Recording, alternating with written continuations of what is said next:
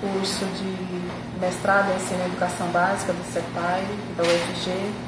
A minha pesquisa é, irá propiciar o desenvolvimento de ações e atividades de mediação de leitura na biblioteca escolar.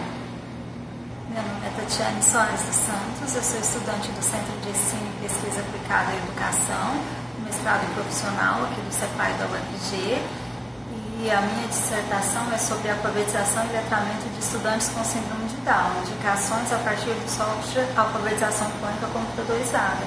A minha pesquisa foi desenvolvida é, em um curso de formação denominado Cultura Digital, onde nesse curso é, nós analisamos a vivência dos de alunos e estudantes com síndrome de Down é, em vivência com software alfabetização fônica computadorizada.